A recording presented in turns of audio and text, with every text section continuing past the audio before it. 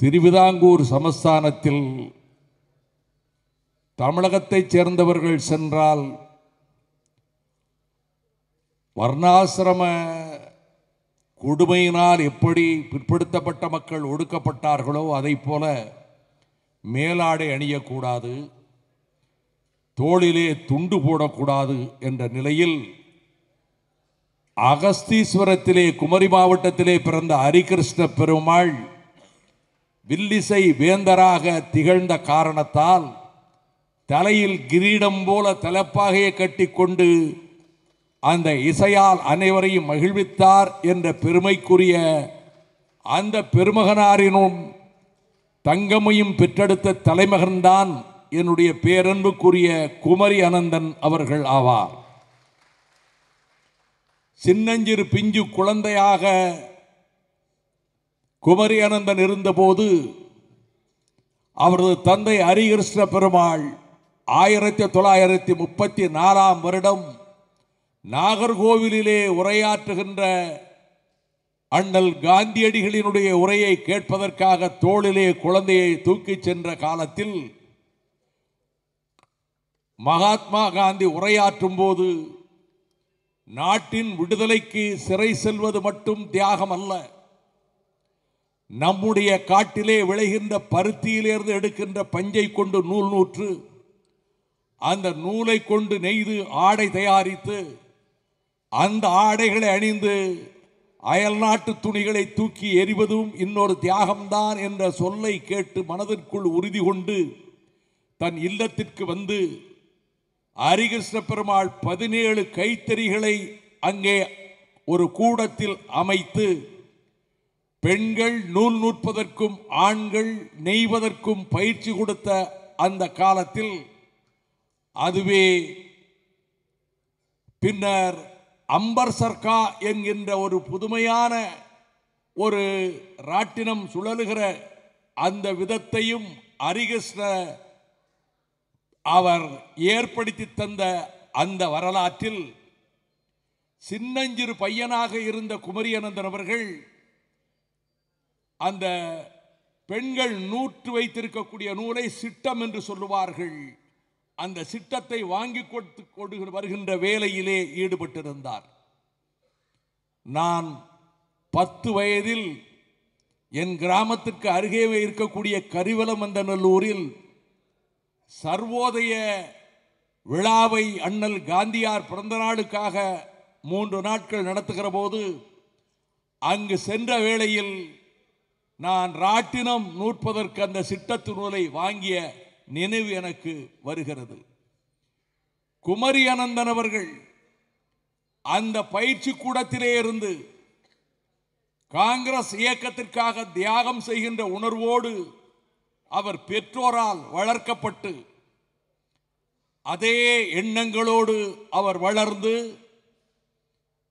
கல்லூரியில் பயின்று அண்ணாமலை பல்கலைக்கழகத்திலும் பயின்று இலக்கியங்களில் தோய்ந்து சாத்தூர் நகரத்தில் தங்கம் டுட்டோரியல் கல்லூரி என்ற ஒரு நிறுவனத்தை நடத்தி வந்த நாட்களில் குமரி பேனா என்ற ஒரு பேனா தயாரிக்கின்ற அந்த பணியும் செய்து கொண்டிருந்த நாட்களில் முதல் முதலாக ஆயிரத்தி தொள்ளாயிரத்தி அறுபத்தி மூன்றாம் ஆண்டு இந்திய கம்யூனிஸ்ட் கட்சியினரின் கலை இலக்கிய பெருமன்றத்தினர் குறுக்கு சாலையிலே ஆண்டுதோறும் மூன்று நாள் நடத்துகின்ற கலை இலக்கிய விழாவில் தவ திரு குன்றக்குடி அடிகளார் தலைமையிலே நடைபெறுகிற பட்டிமன்றத்தில் உரையாற்றுகின்ற வாய்ப்பை நானும் பெற்று சென்றபோது அந்த நிகழ்ச்சிக்கு இலக்கிய செல்வர் குமரி அனந்தன் வந்திருந்தார். என் கண்ணில் பசுமையாக நிழலாடுகிறது சில காட்சிகள் மறக்க முடியாது சின்னஞ்சிறு பிராயத்தில் கல்லூரி பருவத்தில் பதிகின்ற நிகழ்ச்சிகள் படிக்கின்ற பாடல்கள் மனதை விட்டு மூளையை விட்டு விலகாது. அந்த குளத்தங்கரையில் ஒரு கொஞ்சமா இருக்கீங்களா? அந்த குளத்தங்கரையில் அந்த மஞ்சள் கலர் சில்க் சட்டை கதர் சில்க் சட்டையை அப்படி சுருட்டி மடித்தவாறு நல்ல திடகாத்திரமான தோற்றத்தில் ஒரு காரை இப்படி அசைத்து கொண்டு அந்த நிகழ்ச்சியை அப்படியே பார்த்து கொண்டிருந்த அந்த காட்சி என் மனதை விட்டு அகலவே இல்லை. பட்டிமன்றத்தில் அவர் ஒரு அணிக்கு தலைமை தாங்கினார். கம்பராமாயணத்தை மையமாக வைத்து நடைபெற்ற பட்டிமன்றத்தில் வீரத்தில் சிறந்தவன் இலக்குவனா இந்திரசித்தனா என்ற அந்த பட்டிமன்றத்தில் இந்திய கம்யூனிஸ்ட் கட்சியின் தலை சிறந்த பேச்சாளராக இன்றும் நான் நினைக்கின்ற சகோதரி சிவகாம சுந்தரி உரையாற்ற வந்திருந்தார். கம்பன் காவியத்தை நெஞ்சில் ஆழ பதிகின்ற அளவுக்கு உரையாற்றுகின்ற நான் மறக்க முடியாத தஞ்சை ராமமூர்த்தி அவர்கள் அந்த பட்டிமன்ற நிகழ்ச்சிக்கு வந்திருந்தார். இலக்குவன்தான் வீரத்தில் சிறந்தவன் என்ற அணிக்கு அண்ணன் குமரியனந்தன் அவர்கள் பேசினார்கள் இந்திரஜித்தன் என்ற அணியிலே நான் பேசியது எனக்கு நினைவிருக்கிறது. மீண்டும் அடுத்த வருடம் தவ திரு குன்றக்குடியடிகளார் தலைமையில் அதே குறுக்கு சாலையில் நடைபெற்ற இலக்கிய விழாவில் மீண்டும் அண்ணன் குமரியனந்தன் அவர்கள் பேசுகிற அதே மேடையில் நானும் பங்கேற்றேன். காலம் வேகமான மாற்றங்களை ஏற்படுத்திக் கொண்டு வருகிறது. ஆயிரத்தி தொள்ளாயிரத்தி அறுபத்தி ஐந்தாம் ஆண்டு இவரது ஆற்றலை கண்டு வியந்த பெருந்தலைவர் காமராஜர் அவர்கள் தமிழ்நாட்டினுடைய இளைஞர் காங்கிரசினுடைய தலைவராக குமரி அனந்தன் அவர்களை பொறுப்பேற்க செய்தார்கள். நான் இன்றைக்கு இந்த காமராஜர் அரங்கத்தில் ஒரு செய்தியை குறிப்பிட விரும்புகின்றேன். நான் காங்கிரஸ் குடும்பத்திலிருந்து வந்தவன். என்னுடைய பாட்டனார் பிரிக்கப்படாத தூத்துக்குடி திருநெல்வேலி விருதுநகர் மாவட்டத்தின் ஒரு பகுதியும் சேர்ந்த பரந்துபட்ட அந்த நெல்லை மாவட்டத்தினுடைய ஜில்லா காங்கிரஸ் கமிட்டி தலைவராகவும் ஜில்லா போர்டு தலைவராகவும் அவர் இருந்தார். திருவேகுண்டத்தில் கட்டப்பட்டிருக்கின்ற அந்த நீர் போக்கக்கூடிய வழி ஏற்படக்கூடிய அந்த பாலம் ஆயிரத்தி தொள்ளாயிரத்தி நாற்பத்தி ஒன்றாம் வருடம் மார்ச் பதினைந்தாம் நாள் ஜில்லா போர்டு தலைவராக இருந்த மானாக்கோனாரனுடைய பாட்டனார் திறந்து வைத்த அந்த நிகழ்ச்சியில் கலெக்டரும் கலந்து கொள்கிறார். ஜில்லா போர்டு தலைவருக்கு கலெக்டரை விட அதிகாரம். அந்த படத்தில் ஒரு மூலையில் ஒரு சின்னஞ்சிறு சிறுவன் அரைக்கால் சட்டை போட்டு நின்று கொண்டிருப்பார். அவர் யார் என்று விசாரித்தேன்? அவர்தான் இந்திய கம்யூனிஸ்ட் கட்சியின் மாபெரும் தியாகி அண்ணன் நல்ல கண்ணு என்பதை பின்னாலே நான் தெரிந்து கொண்டேன். நான் காங்கிரஸ் குடும்பத்திலிருந்து பிறந்து வந்ததால் முதல் ஆயிரத்தி தொள்ளாயிரத்தி ஐம்பத்தி ரெண்டு தேர்தலில் எனக்கு ஏழு வயது. மெக்கப்போன் வைத்துக்கொண்டு ஒரு இருபது சிறுபையன்களை சேர்த்துக்கொண்டு மாட்டுப்பெட்டிக்கே ஓட்டு போடுங்கள். மாட்டுப்பெட்டிக்கே ஓட்டு போடுங்கள் என்று குரல் கொடுத்தவன் அன்றைக்கு மிக சின்ன வயதிலே ஐம்பத்தி ரெண்டில் பின்னர் அறிஞர் அண்ணாவின் எழுத்துக்கள் கலைஞருடைய கதைவசனங்கள் தாமிரபுரி ஆற்றுப்படலிலே நடமாடும் பல்கலைக்கழகம் நாவலரின் உரை என்னை திராவிட முன்னேற்ற கழகத்திலே மாணவனாக கொண்டு போய் சேர்த்தது. ஆயிரத்தி தொள்ளாயிரத்தி அறுபத்தி நாலாம் வருடம் ஆகஸ்ட் பதினைந்தாம் நாள் பத்தாயிரத்துக்கு மேற்பட்ட மாணவர்களை ஒன்று திரட்டி இந்த நாட்டினுடைய விடுதலை நாளை கொண்டாட அன்றைய சென்னை பல்கலைக்கழகத்தினுடைய துணை வேந்தர் லட்சுமணசாமி முதலியார் அவர்களுக்கு பிறகு அந்த புதவிக்கு பெரும் புகழ் தேடி கொடுத்து தந்தை பெரியாரால் இவர் வர வேண்டும் என்ற விருப்பத்தை பெருந்தலைவர் காமராஜர் நிறைவேற்றிய நேத்து சுந்தரவடிவேல் அவர்கள் பல்கலைக்கழகத்தினுடைய துணைவேந்தராக இருந்து மாநில கல்லூரியினுடைய முதல்வர் பிஜிஎல் சுவாமிக்கு பெருந்தலைவர் காமராஜர் அகில இந்திய காங்கிரஸ் கமிட்டியினுடைய தலைவராக வருகிறார். மாணவர்களை சுதந்திர தின விழா நிகழ்ச்சியிலே பங்கேற்பதில் வரவேற்புரை ஆற்றுவதற்கு ஒரு சிறந்த பேச்சாளனை நீங்கள் உங்கள் கல்லூரியிலிருந்து அனுப்பி வையுங்கள் என்று துணைவேந்தர் சுந்தரவடிவேலு எங்கள் கல்லூரி முதல்வர் பிஜிஎல் சுவாமிக்கு அனுப்பியிருந்தார். அப்பொழுது மாநில கல்லூரியில் நடந்த பேச்சு போட்டியில் நான் முதல் பரிசு பெற்று விருது பெற்றது முதல்வருக்கு தெரியும். என்னை அழைத்து அகில இந்திய காங்கிரஸ் கமிட்டியினுடைய தலைவர் காமராஜர் அவர்கள் மாணவர்கள் பல்லாயிரக்கணக்கானவர்கள் கலந்து கொள்கிற சுதந்திர தின விழாவில் கலந்து கொள்கிறார். நீ வரவேற்புரை ஆற்ற வேண்டும் என்று சொன்னபோது எனக்கு பல்லாயிரக்கணக்கானவர்கள் இருக்கக்கூடிய இடத்தில் உலகம் போற்றுகிற தலைவருக்கு முன்னாலே சுதந்திர தினத்தை பற்றி உரையாற்ற வேண்டி இருக்கிறது என்ற உணர்வோடு நான் ஒரு ஏழு நிமிடம் உரையாற்றினேன். நிகழ்ச்சி முடிந்தது. துணைவேந்தர் சுந்தரவடிவேலு என்னை பார்த்து நடந்து வந்து நன்றி கோபால்சாமி நன்றி என்று சொல்லிவிட்டு போனார். நான் விக்டோரியா விடுதியில் தங்கியிருந்தேன். மாநில கல்லூரியில் முதலாம் ஆண்டு பொருளியல் முதுகலை படித்துக் கொண்டிருந்தேன். காலை ஒன்பது மணி இருக்கும். கதர் ஜிப்பா போட்டுக்கொண்டு நல்ல செக்க சிவேல் என்ற ஒரு மேனியில் ஒருவர் என்னுடைய அறைக்கு வந்தார். நான் நூத்தி எண்பத்தி ஒன்றாம் அறையில் இருந்தேன். என்னோடு வைத்திலிங்கம் என்ற எம்எஸ்சி முதலாம் ஆண்டு மாணவரும் இருந்தார். வந்தவர் தன்னை உள்ளே அறிமுகப்படுத்திக் கொண்டு நான் இளைஞர் காங்கிரசிலே ஒரு முக்கிய பொறுப்பில் இருக்கிறேன். என் பெயர் அஜீஸ் என்றவுடன் அமருங்கள் என்று சொன்னேன். அவர் சொன்னார் நேற்றைய உங்கள் உரை பெருந்தலைவர் காமராஜர் உள்ளத்தை மிகவும் கவர்ந்து விட்டது. நீங்கள் சத்தியமூர்த்தி பவனுக்கு வாருங்கள். பிரகாசமான எதிர்காலம் உங்களை அரவணைக்க காத்திருக்கிறது. பெருந்தலைவருக்கும் அந்த உங்கள் பேச்சை பாராட்டினார். நீங்கள் வாருங்கள் என்றார். நான் அஜீஸ் அவர்களிடம் சொன்னேன் நீங்கள் அழைத்ததற்கு பெருந்தலைவரே அந்த பேச்சை பாராட்டினார் என்று சொன்னதற்கு மிக்க மகிழ்ச்சி. ஆனால் நான் பேரறிஞர் அண்ணாவின் மீது பற்றுக்கொண்டு அந்த இயக்கத்திலே நான் உழைத்த முன்வந்திருக்கின்றேன். உங்கள் அழைப்பை நான் ஏற்க இயலாது சத்தியமூர்த்தி பவனுக்கும் வர இயலாது என்று கூறினேன். இது இதுவரை எந்த மேடையிலும் சொன்னதில்லை. சரியாக ஒரு வார காலம் கழித்து கோகலே மண்டபத்தில் இந்திய எதிர்ப்பு மாநாடு மாணவர் கருத்தரங்கத்தில் பேரறிஞர் அண்ணா அவர்கள் முன்னால் நான் உரையாற்றினேன். அறுபத்தி நாலாம் ஆண்டு ஆகஸ்ட் மாதம் மூன்றாவது வாரத்தில் என் உரையை பாராட்டினார் அந்த இரவு நுங்கம்பாக்கத்தில் பேரறிஞர் அண்ணா அவர்கள் இல்லத்திற்கு எல். கணேசனும் சீனிவாசனும் நானும் நாவலவனும் சென்றபோது அண்ணா அவர்கள் என்னுடைய உரையை ஒரு வார்த்தை பாராட்டியதை நான் மறக்க முடியவில்லை. இது எனக்கு எதை நினைவூட்டுகிறது என்றால் நான் சிறுவனாக இருந்த பொழுது முதலமைச்சரானவுடன் தெற்கு சீமை சுற்றுப்பயணத்திற்கு வந்தபோது பெருந்தலைவர் முதலமைச்சரானவுடன் நடைபெற்ற முதல் சுற்றுப்பயணத்தில் வந்து தங்கிய இல்லம் என் பாட்டனார் கலிங்கப்பட்டியிலே கட்டிய இல்லம். தியாகச்சுடர் காமராஜர் தங்குக வருகிறார் என்பதற்காகத்தான் நவீன கழிவறையும் குளியலறையும் அந்த வீட்டிலே கட்டப்பட்டது. அந்த நாட்களை நான் நினைத்து பார்க்கிறேன். நெடுந்தோறும் வந்த பிறகு இன்றைக்கு குமரியனந்தன் அவர்களை பாராட்டுகிற நிகழ்ச்சிக்கு வருக என்று அன்பு சகோதரர் திருநாவுக்கரசர் அவர்கள் அழைத்த போது எனக்கு எல்லையற்ற மகிழ்ச்சி ஏற்பட்டது.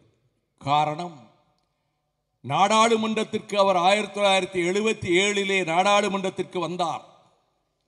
நாடாளுமன்றத்திற்கு தமிழை பொற்தட்டிலே தங்க தட்டிலே எடுத்துக்கொண்டு போய் வைத்தார் என்று தினத்தந்தி ஏடு தலையங்கம் தீட்டி பாராட்டியது இலக்கிய செல்வர் குமரியானந்தன் அவர்களை. தமிழிலே நாடாளுமன்றத்திலே வினா தொடுக்கலாம் என்ற உரிமையை பெற்றுக் கொடுத்த மாமனிதர்தான் புகழுக்குரிய இலக்கிய செல்வர் குமரியனந்தன் அவர்கள். அஞ்சலட்டை காசோலை பணவிடைத்தாள் ரயில் பயண முன்பதிவுக்கு தமிழிலே விண்ணப்பம் இவை அனைத்தையும் பெற்றுக் கொடுத்தவர் நம்முடைய குமரி அனந்தன் அவர்கள். அது மட்டுமல்ல அகில இந்திய காங்கிரஸ் கமிட்டியினுடைய செயற்குழுவில் சட்டமன்றத்திற்கோ நாடாளுமன்றத்துக்கோ போட்டியிடுகிறவர்கள் சொத்து கணக்கை முதலிலே காட்ட வேண்டும்.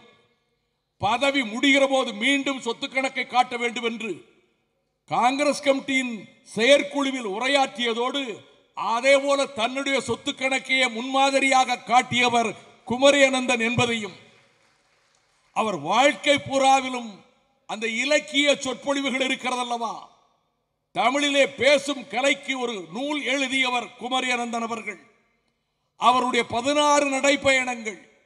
அதில் முதலாவது ஆயிரத்தி தொள்ளாயிரத்தி அறுபத்தி ஏழாம் ஆண்டு அண்ணல் காந்தியடிகள் பிறந்த அக்டோபர் ரெண்டாம் நாள் தொடங்கி தெற்கு முனையிலே இருக்கக்கூடிய கன்னியாகுமரியில் தொடங்கி பண்டித ஜவஹர்லால் நேரு மனிதருள் மாணிக்கம் ஆசிய ஜோதி பிறந்த நாளாகிய நவம்பர் பதினாலில் நிறைவு செய்கிற நாற்பத்தி நாலு நாட்கள் மகாத்மா காந்தியின் தொண்ணூத்தி எட்டாவது பிறந்த நாளை நினைவூட்ட தொண்ணூத்தி எட்டு இளைஞர்களோடு நடந்து வந்ததுதான் அவர் நடத்திய முதல் நடைப்பயணம் என்பதும். உடல்நலம் மிக நலிந்த நிலையிலும் பாஸ்கரோடு என் இல்லத்திற்கு வந்து நான் தருமபுரியை நோக்கி செல்லுகிறேன். ஏறத்தாழ ஆயிரத்தி ஐநூத்தி எண்பத்தைந்து கிலோமீட்டர் பல மாவட்டங்களை சுற்றி கொண்டு செல்கிறேன் என்ற போது நான் பதறியவனாக.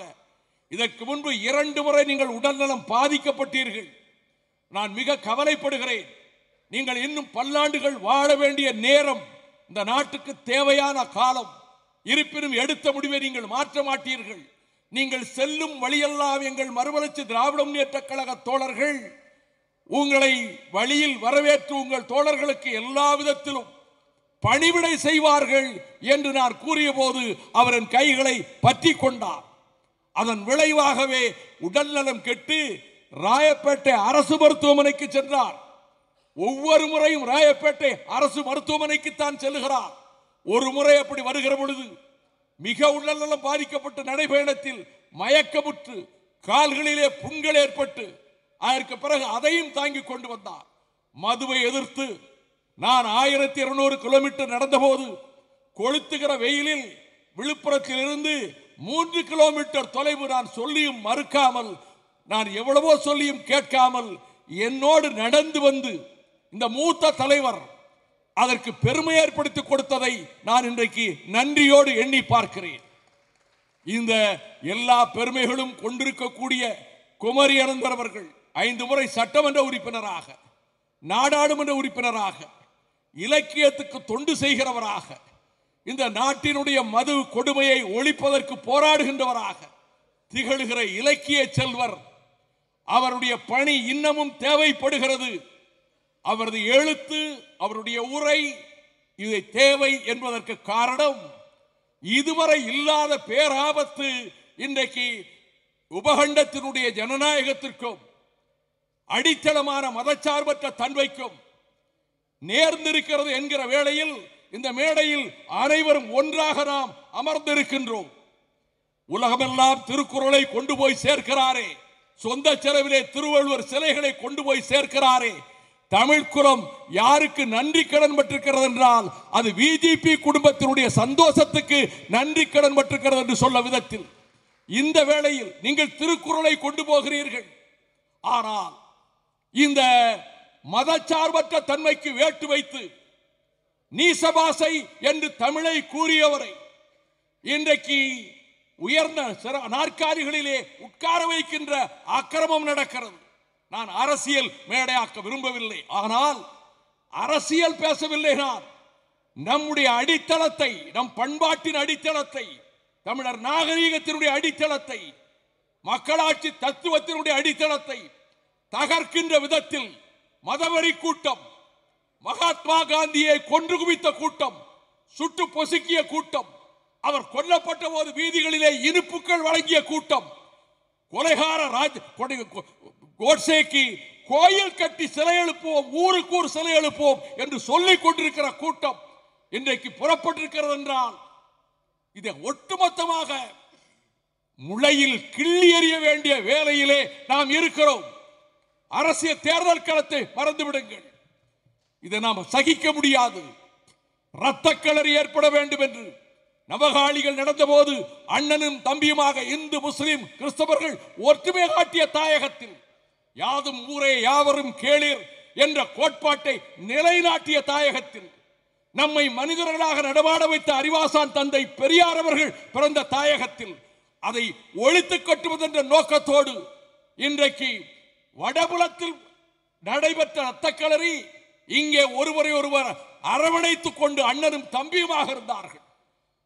பிர்லா மாளிகையிலே ஐந்து மணி பனிரெண்டு நிமிடத்துக்கு மோகன்தாஸ் கரம்சந்த் காந்தி சுட்டுக் கொல்லப்பட்டார் என்ற செய்தி வந்தவுடன் பெரியாரையும் அண்ணாவையும் தான் வானொலிக்காரர்கள் தேடினார்கள். காரணம் ஒரு இஸ்லாமியர் சுட்டுக் கொண்டு விட்டதாக ஒரு பொய் செய்தியை பரப்பி கோட்சேயின் அவன் முஸ்லீம் பெயரை எழுதி வைத்து ஒரு பெரும் இரத்தக்களறி நடைபெற இருந்த வேளையில் அண்ணா வானொலியில் பேசினார் தந்தை பெரியார் காந்தியார் கொள்கைகளை எதிர்த்தவர். ஆனால் இந்த நாட்டுக்கு காந்தி தேசம் என்று பெயர் வைக்க வேண்டும் என்று இந்தியாவிலேயே சொன்ன ஒரே தலைவர் தந்தை பெரியார் என்பதை நான் இன்றைக்கு நினைவூட்டுகின்றேன். அப்படிப்பட்ட தமிழகத்தில் இன்றைக்கு ராமராஜ்ய ரத யாத்திரை அல்ல ரத்த களரி விளைவிப்பதற்கான யாத்திரை. நாம் ராமனுக்கு விரோதிகள் அல்ல சமயத்துக்கு விரோதிகள் அல்ல. இங்கே சைவத்தையும் வைணவத்தையும் சமய சமய குறவர்களும் ஆழ்வார்களும் வளர்த்தார்கள். தமிழை போற்றினார்கள். உலகில் சிறந்த ஆலயங்கள் நம் தமிழ்நாட்டில் தான் உண்டு. இதற்கு ஈடான சிற்பக்கலை சிறப்பு உலகில் எங்கும் கிடையாது. அந்த ஆலயங்களை நாங்கள் வழிபடுகிறவர்களுக்கு நாம் வாழ்த்து சொல்லுகிறோம். ஆனால் மசூதிகளிலே தொழுகை நடக்கிறது. தேவாலயங்களிலே ஜெபம் நடக்கிறது.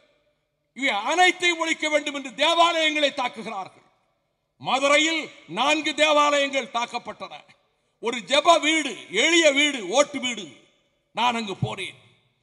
ஒருவன் கையில் பக்கத்திலே துப்பாக்கியோடு பிஎஸ்ஓ பர்சனல் செக்யூரிட்டி அவர் சொல்லுகிறான் அந்த ஜெப வீட்டில் இருக்கக்கூடிய அந்த சகோதரரை பார்த்து என்னடா இது உன் பொண்டாட்டியா வைப்பாட்டியா? என்று கேட்கிறான் வாட்ஸ்அப்பிலே வருகிறது. சட்டையை பிடித்து உழுக்குகிறான் இதன் பிறகு என்ன நடந்தது தெரியுமா? அந்த ஏழை குடும்பத்து பெண் அவர் மனைவி பெர்சியா என்கிற பெண்ணை பைபிளை பிடுங்குகிறார். அந்த சகோதரி பைபிளை இருக்க பிடித்துக் கொள்கிறாள் உடனே சேலையை பிடித்து இழுக்கிறார்கள். பைபிள் கீழே விழுந்து விடுகிறது. பைபிளை கொண்டு போய் கொளுத்துகிறார். மீதம் இருக்கிற பைபிள் பக்கங்களை நான் எடுத்து வந்திருக்கிறேன். கருகி போனது போக மீத பக்கங்களை நான் எடுத்து வந்திருக்கிறேன். அந்த நபர் இவ்வளவு சொல்லுகிறாரே. போலீஸ் நான் அரசாங்கத்துக்கு சொல்லுகிறேன். ஜனநாயக உரிமைப்படி கருப்பு கொடி காட்ட போறவர்களை கைது செய்தீர்களே. இந்த ரத்த யாத்திரையை எதிர்த்து இந்த கொடுமையான வார்த்தைகளை பேசியவரை அடையாளம் தெரியாத நபர்கள் இந்த ஜப வீட்டை தாக்கிறார்கள் என்று போட்டிருக்கிறாய். உலகம் பூராவிலும் முகம் பேஸ்புக்கிலே போயிருக்கிறது. வாட்ஸ்அப்பிலே போயிருக்கிறது. சர்க்காரா நடத்துகிறீர்கள்? இந்த காவல்துறை எதற்கு இருக்கிறது? அதன் விளைவு என்னவென்றால் மூன்று நாட்களுக்கு முன்பு ஒரு கிறிஸ்தவ பள்ளியில் அவர்கள் உல்லாச பயணம் போகிற பிள்ளைகளை பார்த்து இந்து கோயிலுக்கு போவதாக இருந்தால் உல்லாச பயணம் போ இல்லாட்டி உள்ளே போயிட்டு விரட்டுகிறார். அதே நபர் இது என்ன எந்த தமிழ்நாடா? காமராஜர் பிறந்த தமிழ்நாடா? அண்ணா பிறந்த தமிழ்நாடா? பெரியார் பிறந்த தமிழ்நாடா? ஜீவா பிறந்த தமிழ்நாடா? மாப்போசி பிறந்த தமிழ்நாடா? எந்த நாடு இது? இவ்வளவு செய்துவிட்டு ஒரு பெரும் இது- இதற்கு மத்தியில் இன்னும் நாங்கள் நூறு தேவாலயங்களை உடைக்கப் போகிறோம் என்று அறிவித்திருக்கிறார்கள். இந்த கொடுமையை எதிர்க்க வேண்டிய வேளையிலே குமரி நபர்களுக்கு விழா நடக்கிறது. ஒருபோதும் நாம் இதை அனுமதிக்க முடியாது. பெரியார் சிலையை உடைப்போம் என்று ஒருவர் பேசுகிறார். பச்சை தமிழர் காமராஜர் ஆட்சி ஓங்கி ஒலிக்கட்டும் என்றார். அண்ணாவை தலைமாடாக்கராக கொண்ட பெரியார். தந்தை பெரியார் தொண்டு செய்து பழுத்த வளம் தூயதாடி மார்பில் விழும் மண்டை சுரப்பை உலகதொழும் மனக்குகையில் சிறுத்தை எழும் என்று பாவேந்தரால் பாராட்டப்பட்டு மூச்சு அடங்குகின்ற வரையிலே மூத்திர சட்டியை தூக்கிக் கொண்டு இந்த சமுதாயத்துக்கு பாடுபட்ட தலைவனை உடைப்போம் என்கிறான். தலையை துண்டாக உடைத்து புது புதுக்கோட்டை விடுதியிலே கீழே கிடக்கிறது. மது போதையிலே ராணுவத்திலே இருக்கிறவன் உடைத்து விட்டார் என்கிறார்கள். உடைக்க சொன்னவரை ஏன் கைது செய்யவில்லை? தவறாக நினைக்க கூடாது. நான் வன்முறையாளன் அல்ல. வன்முறையின் மீது காதல் கொண்டவன் அல்ல. வாழ்நாள் ஐம்பத்தி நாலு ஆண்டுகளாக பொது வாழ்வில் இருக்கிறேன். எந்த கட்டத்திலும் நான் கடுமையாக தாக்கப்பட்டிருக்கிறேன். கடுமையாக விமர்சிக்கப்பட்டிருக்கிறேன். கடுமையாக பழிக்கப்பட்டிருக்கிறேன். ஆனால் ஒரு காலம் என் தோழர்கள் ஒரு பேருந்தில் கல்வி செய்து கிடையாது. ஒரு கடைத்தெருவில் கல்வி செய்து கிடையாது. வன்முறையை ஒரு காலம் ஏற்றுக்கொள்ள மாட்டோம். ஆனால் இந்த பாட்டு தூக்கிட்டு போ. நிறுத்துறதுக்கு கொண்டாந்து பாட்டில் வச்சாரா? எதுக்கு வச்சாருன்னு தெரியல. ரெண்டு காரணம் இருக்கணும்.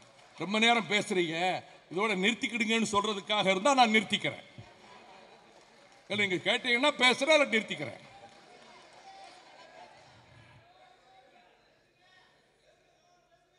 நான் மேடை கிடைக்காமல் இங்கு வரவில்லை. என் நெஞ்சில் இருக்கிற கொதிப்பை தியாகசூரர் காமராஜர் அரங்கத்திலே பதிவு செய்ய வேண்டும் என்பதற்காக வந்திருக்கிறேன். நான் வன்முறையாளன் அல்ல. விடுதலை புலிகளை முழுமையாக ஆதரிப்பவன் நான் வன்முறையாளன் அல்ல. ஆனால் எங்கள் இருதயத்திலே இருக்கிற இந்த நாட்டு மக்களை மனிதர்களாக்கிய சுயமரியாதை சிங்கத்தை தென்கிழக்கு ஆசிய நாடுகளினுடைய சாக்ரட்டீஸ் என்று யுனெஸ்கோவால் பாராட்டப்பட்ட எங்களுடைய அறிவாசான் பெரியாரை அவர் சிலையை உடைப்போம் தலையை எடுப்போம் என்றார். என் தலையை எடுத்ததாக நான் கருதுகிறேன். என் இருதயத்தில் ஈட்டி வாய்ந்ததாக நான் கருதுகிறேன். அதனால் தான் சொன்னேன் நாள் குறிப்பிடு நேரத்தை குறிப்பிடு.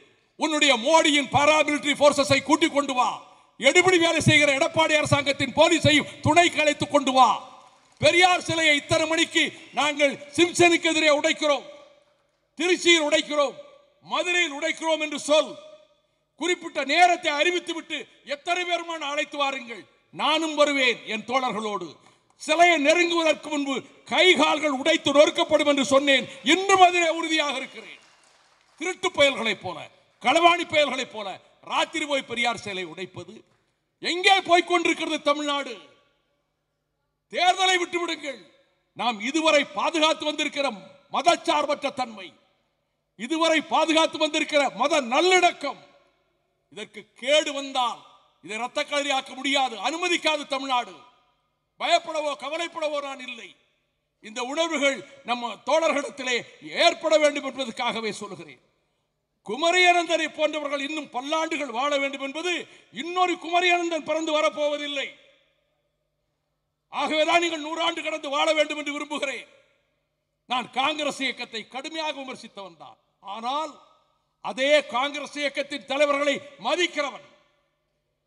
அந்த காங்கிரஸ் இயக்கத்தை உரு- உடைய தியாகத்தை நான் மதிக்கிறவன். அந்த வகையில் தான் அண்ணன் குமரி அனந்தன் அவர்கள் இனி நீங்கள் அண்ணன் வீரமணி கூறியதைப் போல நீங்கள் நலமோடு பல்லாண்டுகள் வாழ வேண்டும். இன்றைக்கு நீங்கள் உங்களுக்கு விழா என்றவுடன் அனைத்து தலைவர்களும் வந்து விட்டார்கள். அப்படி எல்லோரும் பாராட்டுகின்ற தலைவராக இருக்கிறீர்கள். நெஞ்சு பொறுக்கதில்லையே இந்த நிலைகட்ட மனிதரை நினைந்து விட்டால். கவர்னர் மாளிகையிலே ஒரு புரோகிதர் வந்து உட்கார்ந்திருக்கிறார். பன்வாரிலால் புரோகிதர். மிஸ்டர் புரோஹித். மிஸ்டர் புரோஹித் ஜாக்கிரதையாக நடந்து கொள்ளுங்கள். என்ன தமிழ்நாடு என்ன வேட்டைக்காடா? டாக்டர் அம்பேத்கர் பல்கலைக்கழகத்துக்கு சூரிய நாராயண சாஸ்திரி துணைவேந்தரா? நீசபாசை என்று சொன்னவர். நீசபாசை என்று சொல்லி அண்ணன் டாக்டர் கலைஞர் ஆட்சி காலத்திலே வெளியேற்றப்பட்டவர். இன்றைக்கு புலே புலே பல்கலைக்கழகத்திலே அவர் இருக்கிறார் ஒரு துறை தலைவராக. அவர் ஆந்திராவை சேர்ந்தவர். இந்த குழு சிபாரிசு அனுப்பி மூன்று பேரை அனுப்பியதில் சூரியநாராயண சாஸ்திரி பேர் கிடையாது. பிஜேபி உத்தரவு போட்டது. மிஸ்டர் புரோஹித் சூரியநாராயண சாஸ்திரியை நீங்க துணைவேந்தராக நியமித்திருக்கிறார். இது தமிழ்நாடா அல்லது வேட்டைக்காடா? நினை நாம் வடக்கே நடப்பது இங்கே நடக்கிறது. கவர்னர் எல்லை மீறி போகிறார். கவர்னர் மாளிகையில் இருந்து கொண்டு வாருங்கள் வாருங்கள் வேலை வேண்டுமா? வாருங்கள். கம்பெனி நடத்த வேண்டுமா? வாருங்கள். பிசினஸ் நடத்த வேண்டுமா? வாருங்கள். நீ புரோகிதரா புரோக்கரா? என்று நான் கேட்கிறேன். குமரி அனந்தன் விழாவிலே அதிகமாக பேசுகிறார் நினைத்து விடக்கூடாது குமரி அனந்தன் புகழ் வாழ்க வணக்கம்.